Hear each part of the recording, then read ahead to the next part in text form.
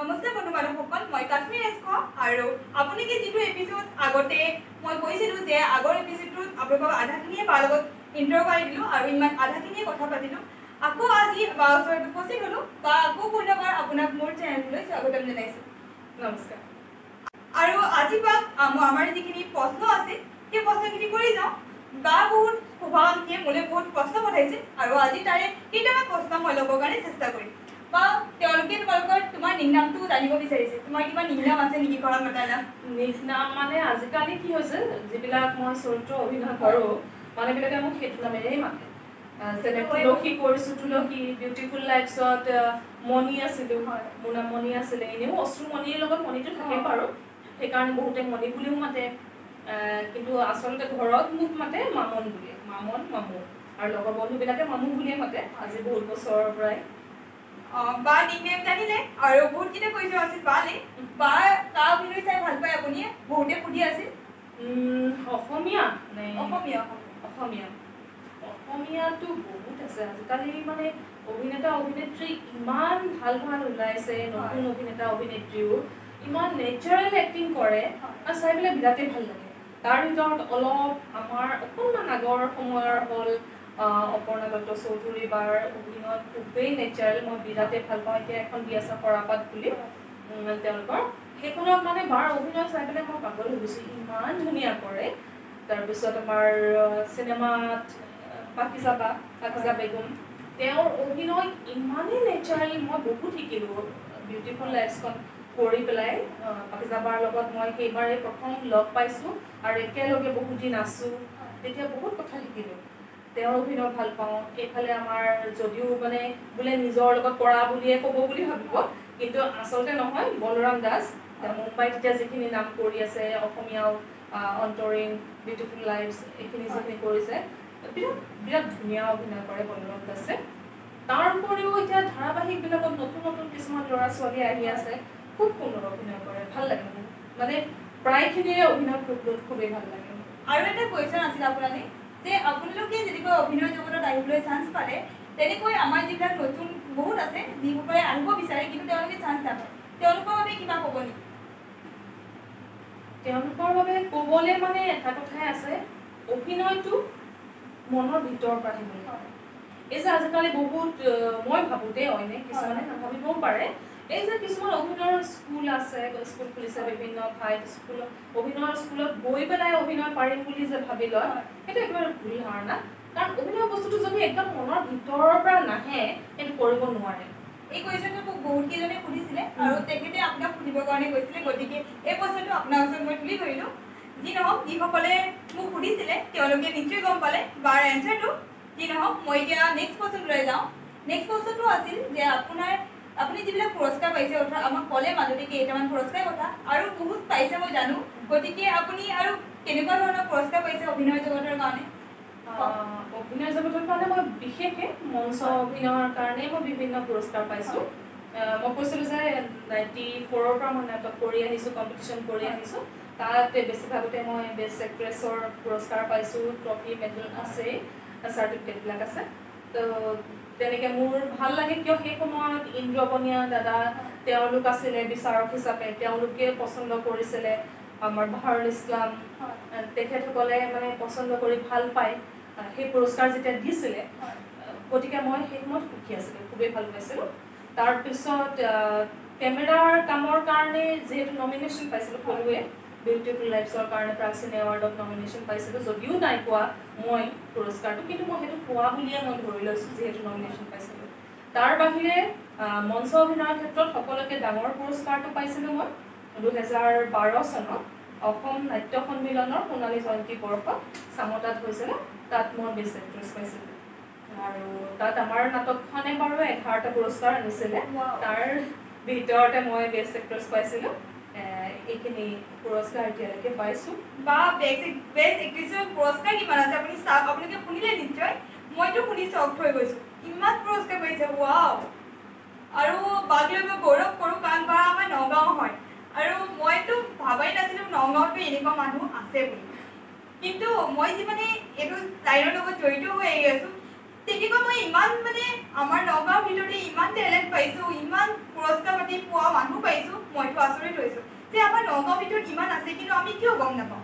সেইটোৱে আচল কথা। আমি নহয়। এইখিনিতে মই কথা এটা কওঁ। উম, গম নোপোৱা। আচলতে টেলেণ্ট মানে কি? নগাঁৱত টেলেণ্ট সঁচাই বহুত আছে। আৰু গুৱাহাটীত অভিনয় জগতত যিখিনি ল'ৰা ছোৱালী আছে অভিনেতা অভিনেত্ৰী বা পৰিচালক বেছিভাগে কিন্তু নগাঁও। আৰু সেইকাৰণে আমাৰ তাত জোকায়ো। যে ইয়াত যদি শিলগুটি এটা দলিয়াই দিয়া হয় তেতিয়াহ'লে নগাঁৱৰ কোনোবা অভিনেতা অভিনেত্ৰী ইয়াতে কিন্তু পৰিবগৈ। সেয়া আৰু। এতিয়া আমি জানিব চেষ্টা কৰিম তাৰ পৰা যে ফিল্ম জগতত হোৱা বেগ কেমেৰাই কিছু হাস্যমধুৰ কিছু ঘটনা এনেকুৱা মানে কি আমাৰ যেতিয়া এখন চিনেমা বা চিৰিয়েল যেতিয়া কৰি থকা হয় এটা টিমে এমাহ দুমাহ একেলগে যেতিয়া থাকোঁ দিনটো বেছিভাগ সময় থাকোঁ গতিকে মানে হাঁহি ধেমালিতে আমাৰ পাৰ হয়। কাৰণ কি হাঁহি ধেমালি আমাক এনাৰ্জি দিয়ে। ৰাতিপুৱা সাতটামান বজাতে আমি মেকআপ কৰি ড্ৰেছ কৰি ৰাতি নটা দহটা বজালৈকে যিহেতু থাকোঁ। এনেই যদি চুপচাপ বহি থকা হয় তেতিয়াহ'লে মানে মন চনবিলাক বেয়া হৈ যাব মুড অফ হৈ যাব। গতিকে কি হয় আমি মানে যিখন যিখিনি সময় আমাৰ চব নাথাকে সেইখিনি সময়ত গোটেইখিনি লগ হৈ পেলাই আড্ডা পিটি থাকোঁ হাঁহি ধেমালি কৰিয়ে থাকোঁ। যেনে কাঞ্চনৰ সময়ত আমাৰ গোটেই গ্ৰুপটো খুব ভাল লগা আছিলে। বৰষা সাগৰিকা মই ইউডি আহ, জয় তাৰপিছত প্ৰাণকৃষ্ণ মহন্ত এনেকে মানে গোটেইখিনি একেলগে টিম হৈ পেলাই আমাৰ নতুকা সময়খিনিত আমি যেতিয়া বহি থাকোঁ। আৰু লগতে আমাৰ আছিলে অতুল পাচনিৰ ৱাইফ অনিমা পাচনি অনিমা বা আছিলে। আমাৰ মানে ইমান জমি থাকে ইমান আমি হাঁহি ধেমালি কৰি ইমান চিঞৰোঁ। লাষ্টত ডাইৰেক্টৰে নানান পাচনি। তেওঁ মানে চিঞৰিবলগীয়া হয় আমাকতো একো ক'ব নোৱাৰে বয়সত আমাতকৈ সৰু ল'ৰা ভাইটি। তেওঁ কি কৰে লাষ্টত মাকক চিঞৰে। আমাৰ লগত যিহেতু মাক বহি থাকে মাকক চিঞৰে আ তোমালোকে ইয়াত কি কৰিছা? যোৱা ইয়াৰ পৰা ওলোৱা। তেতিয়া মানে আমি চবেই আৰু বৰষাই "আই, আহিলে। দিব দেই চুপ, চুপ, চুপ, চুপ, চুপ", এনেকে আমি চব বহি থাকোঁ আৰু। খুব মানে ভাল লাগে সেইখিনি। আৰু ইণ্ডিয়াটো আৰু অনমতে জমায়ে থাকে। গতিকে আৰু প্ৰাণকৃষ্ণ দা প্ৰাণকৃষ্ণ মহন্ত তেওঁ ইমান গহীন গম্ভীৰ মানুহজন। প্ৰথমতে আমি বিৰাটেই ভয় খাইছিলোঁ দেই এইজনৰ সন্মুখত আমি কেনেকৈ কথা পাতিম। কিন্তু পিছত তেওঁ গহীনত বহি থাকি পেলাই চকু মুদি মুদি যি এটা গহীনত জমনি এটা কৈ দিব ন আমি হাঁহি হাঁহি বাগৰি যাওঁ। গতিকে এনেকুৱা বহুত হয় হৈয়ে থাকে চবতে। হাস্যমধুৰ ঘটনাবিলাক শুনিলে। আৰু এতিয়া বা শুনি বা ভৱিষ্যত পৰিকল্পনা কিবা আছে নেকি? ভৱিষ্যত পৰিকল্পনা তেনেকুৱা এতিয়াও মোৰ কৰা নাই। কাৰণ আৰু বহুত চৰিত্ৰ বহুত ধাৰাবাহিক চিনেমা নাটক কৰাৰ হেঁপাহ আছে। সেইখিনি কৰি লওঁ। তাৰপিছত ভাবিছোঁ একেবাৰে নভবাও নহয় ভাবিছোঁ যে কেতিয়াবা গৈ পেলাই হয়তো নাটক এখন পৰিচালনা কৰিম।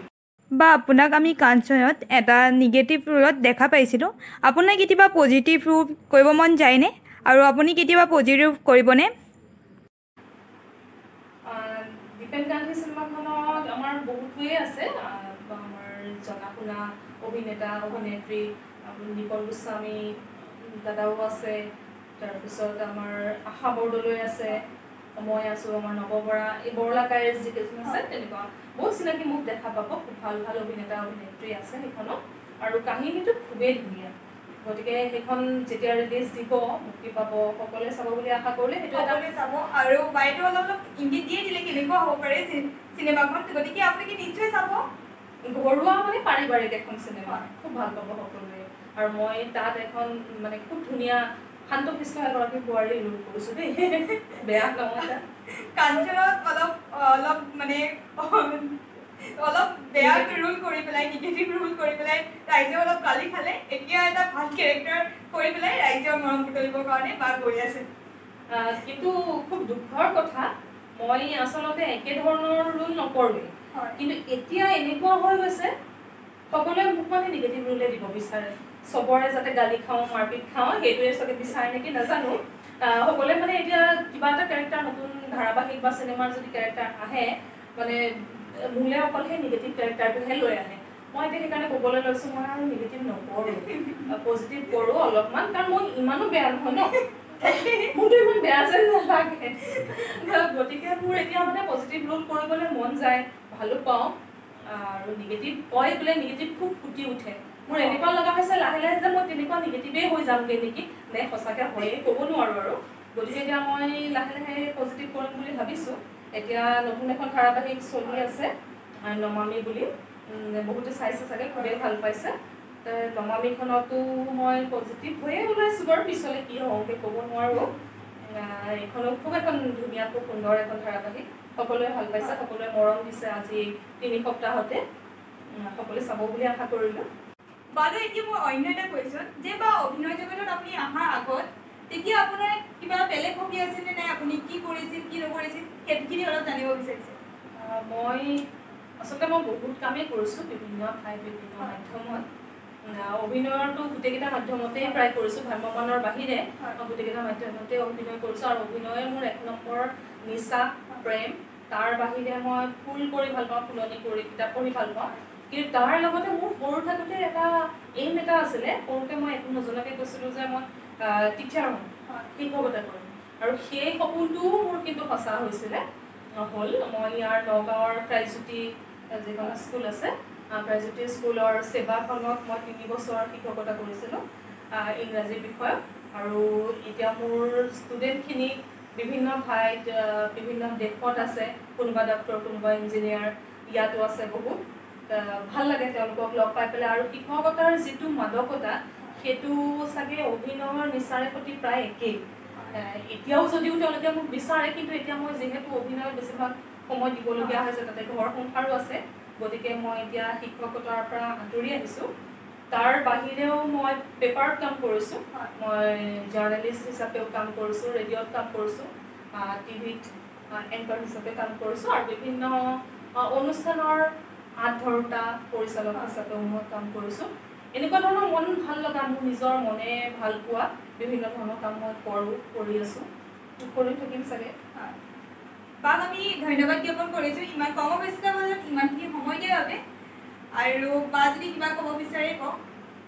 মই কম এইখিনিতে এটা কথাই যে আপোনালোক এতিয়া দেশৰ পৰিস্থিতি ভাল নহয়।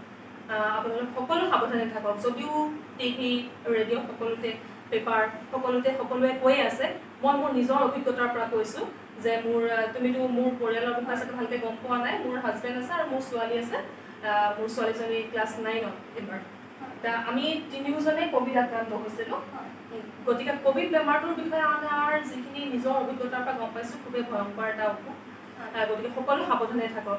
কাৰণ এইটোৱে অকল চৰ্দি জ্বৰ কাহ হৈছে বুলি বহুত মানুহে কয় আৰু কয় যে চৰ্দি জ্বৰ কাহ সকলোৰে হয় ভাল হৈ যাব। কিন্তু নহয় ক'ভিড ভাইৰাছটো সোমালে মানুহৰ শৰীৰৰ ভিতৰৰ বিভিন্ন অংগ প্ৰত্যংগ এফেক্ট কৰে। আৰু আপুনি হয়তো চিৰদিনলৈ ঘূণীয়া হৈও যাব পাৰে ৰোগীয়া হৈও যাব পাৰে। গতিকে এইটো খুব সহজ বেমাৰ নহয়। চৰ্দি কাহ জ্বৰৰ ঔষধ খাবই। গাৰ বিষ হয় খুব কেতিয়াবা মূৰৰ বিষ হয় খুব বা পেটৰ অসুখ হয়। জ্বৰ জ্বৰ চৰ্দি কাহ এনেকুৱা ধৰণৰতো হয়েই। গতিকে তেনেকুৱা হ'লেও আপুনি অন্ততঃ পৰীক্ষা নকৰিলেও এতিয়া যিহেতু পৰীক্ষা কৰিবলৈ কিটবিলাকো নোহোৱা হৈছে মানুহে কৰিবও নিবিচাৰে পৰীক্ষা নকৰিলেও অন্ততঃ অতি কমেও দহ দিন ঘৰৰ ভিতৰত সোমাই থাকক। আনৰ সংস্পৰ্শলৈ নাহিব। কাৰণ তেনেকে থাকিলে আনলৈ এই বেমাৰটো যোৱাৰ ভয়টো কমে নাযায়। গতিকে এনেকে অন্যৰ অন্যলৈ ৰোগটো বিয়পোৱাতকৈ আপুনি ঘৰতে সোমাই কেইদিনমান জিৰণি লওক নিজকে ভাল কৰি তোলক তেতিয়া অন্ততঃ সকলো বাচিব পাৰিব।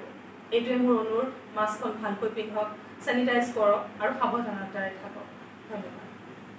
সাৱধানতা মনত নাই বাৰু এই ক'লে আৰু আজি ভিডিঅ'টি ইমানতে সমাপ্তি কৰিম। পুনৰ এটা নতুন ভিডিঅ'ত আপোনালোকক লগ পাম। তেতিয়ালৈ আপোনালোকৰ লাগিছে বিদায়। ধন্যবাদ। জয়। অসম। Bye.